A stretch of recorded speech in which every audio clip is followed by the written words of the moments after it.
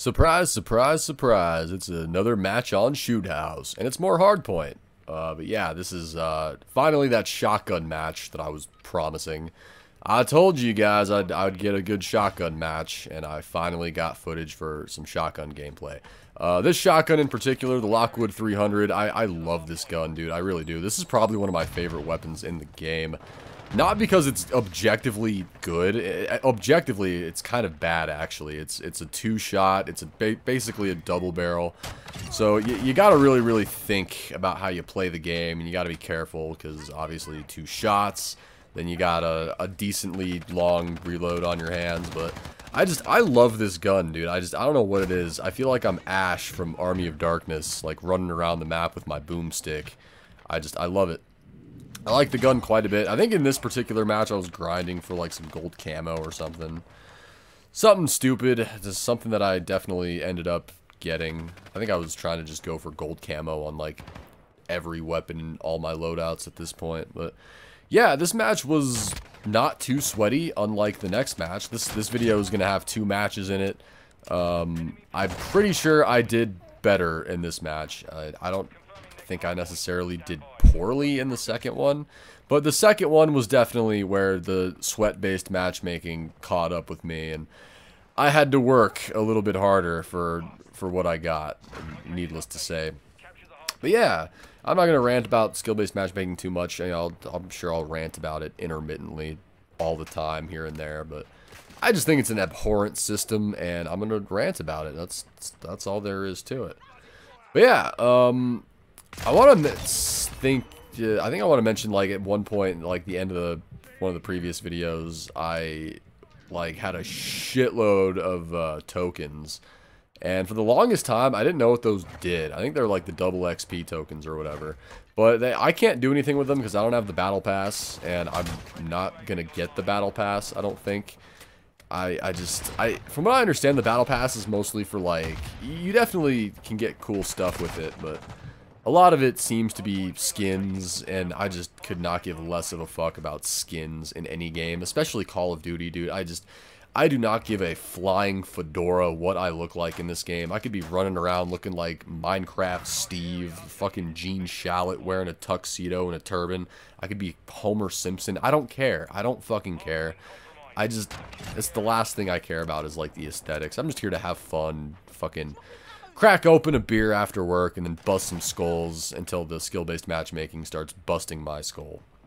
That's really, that's really all there is. But yeah, I'm popping off with this shotgun this match, dude. This was a good, good match. I had another decent match with this gun, but yeah, I got some wacky attachments on this thing too. Like there's a big old like silencer on the barrel, which ordinarily you would think a silencer is fucking useless in this game. But uh, for whatever reason, this silencer gives me like a ginormous uh, damage boost. And it makes my pellet spread a little bit tighter. So, yeah, pretty sweet. I, I like the shotgun a lot. It's not probably my favorite weapon. I like the, um, the Vector quite a bit. Also known as the Fennec 45. Who talked about, like, why does Call why did Call of Duty stop using real gun names? Was it like an issue of like the rights or something? I don't understand that. Because like Call of Duty has always been like, you know, part of that, you know, firearm realism. And they've always used the real names of guns like the AK-47. And, and now the AK-47 is called like the Kastov 762. Like, I, I just don't understand. Like, it's not really like a huge complaint or a nitpick, but I just don't know why they started doing that. Were, were gun companies just, like, anti-Call of Duty all of a sudden? I, I have no idea. Anyway, look at me playing the shit out of this objective, my guy. Like, I'm not trying to suck my own dick, but I was on that hard point. The, this whole game, I was just in the hard point. I think by the end, I, I did end up with a solid, like, two and a half minutes in the hard point. So you're welcome, team. I'm just joking. My team was really good. My, my team were, they were not glue eaters this match. And neither was I, but yeah. Dumping VTOL jets, just, you know, I, am actually getting kind of bodied at this point, but... Got my VTOL jet rolling, and, uh... The, the enemy team is actually on the hard point for once. That's pretty sweet. Good for them. Give them a nice pat on the back. Look at the score, though. Holy shit. What a blowout. I tend to notice that a lot about hardpoint matches in this game, is they're, they are always blowouts, dude. It's always one team that just fucking annihilates. Also, I just ran right past an enemy. I didn't notice that while I was playing, but sure as fuck noticed it watching the playback. Yeah, hardpoint is always a blowout. Also, I picked that guy's gun up on accident because I was I was trying to guard my location with the VTOL, and I ended up uh, picking up a weapon on accident. So that got me killed. That, that'll happen sometimes. Um, yeah, uh, I don't know what it is about hardpoint matches. I don't know if the, the skill-based matchmaking has something to do with it, or maybe if it's something to do with the spawns. I've heard a lot of people say that it's maybe spawn-related. But hardpoint is just like absolutely it is it is a fucking anomaly in Modern Warfare 2. One team always just takes the fucking cake and fucks it. And the other team is just like eating fucking paste the whole game. They can't get 5 seconds in the hard point. It's so weird. I can't remember a whole lot about like, you know, prior Call of Duty games like in terms of hard point. But were the other games like that? Because, dude, I played a lot of Call of Duty 4, I played a lot of OG Modern Warfare 2, and I played a lot of Black Ops. And I don't remember the hardpoint games being this much of just a one-sided blowout every time. Like, I don't know. It's got to be something to do with the SBMM algorithm or something. Like, it's it's maybe that in tandem with the shit shit fire spawns. Also, we got a, a weird footage jump cut there, just like the first video. I don't know why that happens sometimes, but it's not a big deal. It's not like we miss anything substantial. I don't think I got any sweet kills during that, like, 10, maybe less than 10 second loss. Uh, but yeah, Hardpoint is just always weird in Modern Warfare 2. I don't know how to describe it. It just seems like one team always just fucking dominates. Like, the score is always just absurd by the end. Like, I've had games of Hardpoint where, like, I think I, I lost a game where the score was, like, five. Like, we, we only scored five points in the whole game, my team. It was insane. It was just crazy. But yeah, this match was was good. We got a sweet victory out of that. And next match was skill-based matchmaking fuck zone. Also, one thing that was great about the next match was that uh, I was using a controller that was not working properly. You're going to see exactly what I'm talking about. The controller I was using was having like some kind of analog stick issue, and I, I just could not tactical sprint. For whatever reason, I just couldn't do it. Look at that score though, man. 2 minutes and 43 seconds in the hard point. Top of the leaderboard.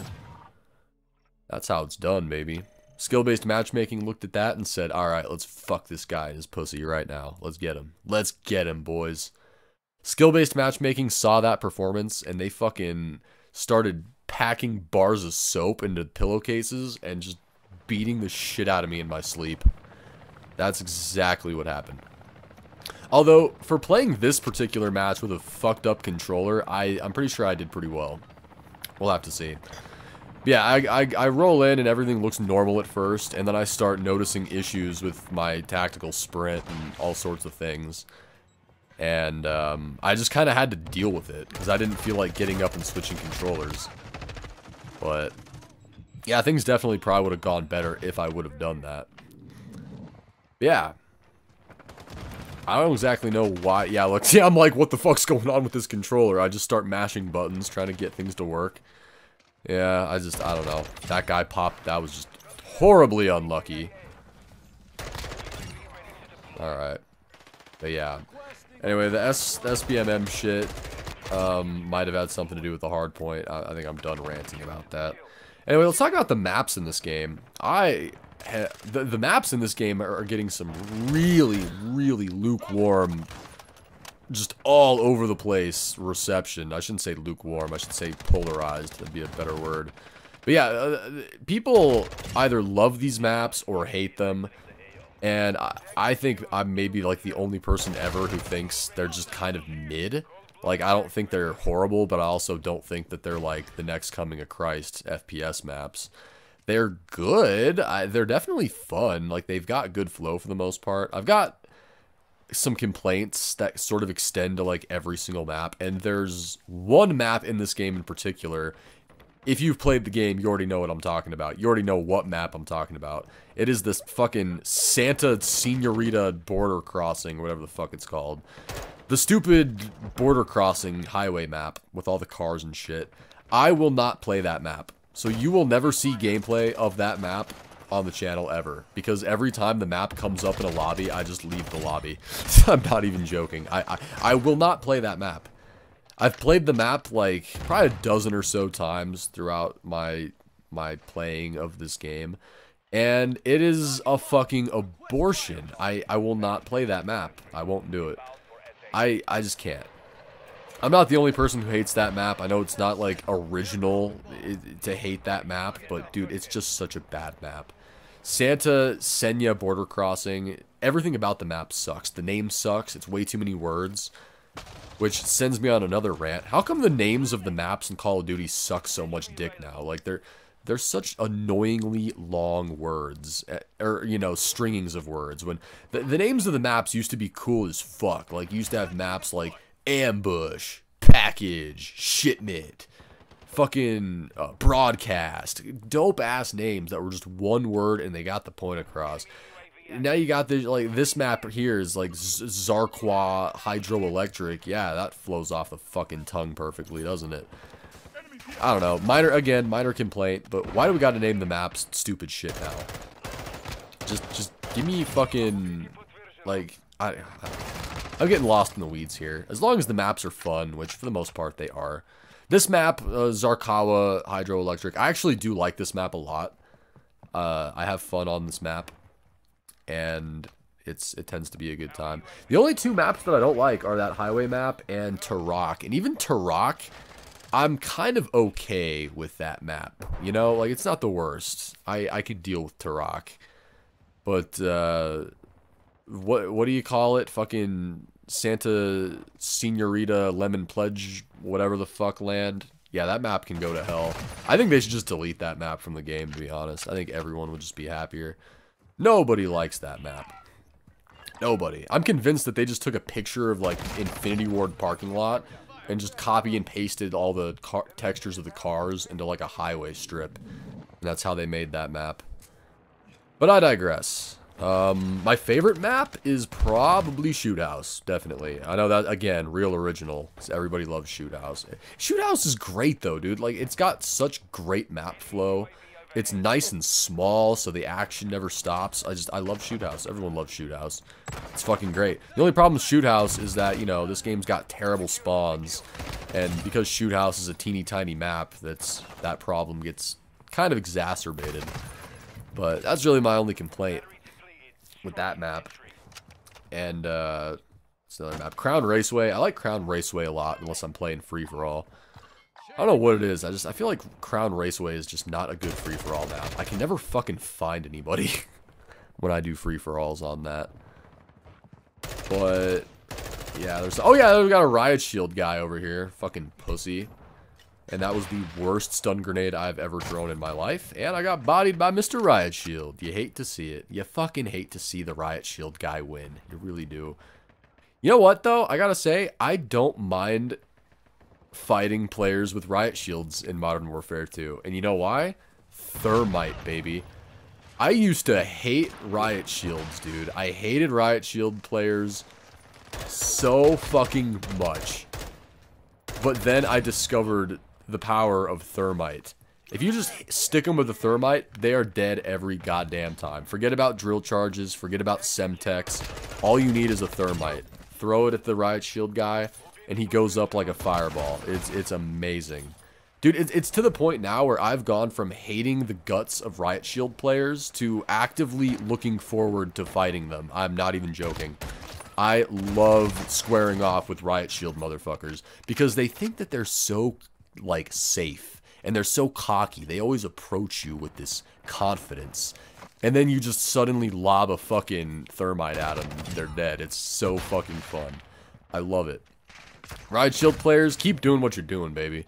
As long as they don't nerf the thermite and make it so that I can't just, you know, one-shot you with a ball of fire, you just keep hiding behind that shield, and I will just keep chucking my thermite right in your pussy little face. I, I, I love it. I love the uh, the riot shield nonsense. I myself, uh, I, I, I haven't even like done any of the riot shield challenges in this game. I, I'm sure I will at some point. Um, sometimes I pick up the riot shield off a dead player just for fun, just lug it around for a little bit. But I just, I think the game would be better if there was no riot shield. Overall, like, I think most, I, I feel like Infinity Ward would make a lot of people happy if they got rid of the riot shield. But like I said, me personally, man, I'm happy with my thermite. I just, I love, I love bodying these guys with the uh, thermite shit. I think one of my teammates just started blasting me, so that was, that was good. This match is also pretty close to over. Another victory, despite... Man, the, the, this team ended up getting bodied by a guy with a non-working controller. Look at that shit. That was nutty. Yeah, what else was I going to say? There was, like, definitely, definitely something else I was going to say about the maps, I think. Um, I think my only complaint, really, with the maps is that, like... I feel like the Infinity Ward was pretty desperate to break away from the three-lane generic map design. And in doing that, they sort of made the maps a little too open, in my opinion, in certain places. Like, there's a little bit too many lanes, there's too many avenues to get shot from. Look at this building I'm going into in particular, dude. Window, door, there, there's like 16 windows and doors in that building. I didn't really show it there, but so many ways to get shot, so many directions. So many different ways to sweat. And that's just the way you gotta play the game. Yeah, down goes Mr. Riot Shield. That's the way it goes, motherfucker. But yeah, well, that was the end of that. Yeah, Riot Shield guys, are, I think, were a lot more annoying in the older games when there were less ways to counter them. Uh, they should still nerf it into the ground, but who cares? Anyway, before we go, you guys want to watch any of these cool videos? We got the Act Man talking about Battlefield 1. We got, uh, oh, we got Murda. We got Murda Show talking about Modern Warfare 2. Or, yeah, I think he's just playing it. Yeah, all right. Well, that's the end of that video. I'm going to upload the public version of, uh, hopefully you guys enjoyed this obvious Sekiro gameplay that I uploaded. this this was definitely Sekiro that we just watched. I This feels weird, dude. This is a weird way to do post commentary where I upload the video straight to YouTube. And then I, I basically do like kind of a react channel type thing with my own video while also talking about random shit. So yeah, hopefully you guys enjoyed uh, those two matches. Uh, I did, uh, yeah, I just, I, I felt like I, I needed to do two matches in this video because that first one was so gosh darn short. Yet another hard point, hard, hard port, yeah, that's a word. Hard point blowout. It was a hard point blowout. So yeah, hopefully you guys enjoyed the matches. I will be back for whatever the hell's in store for the next video.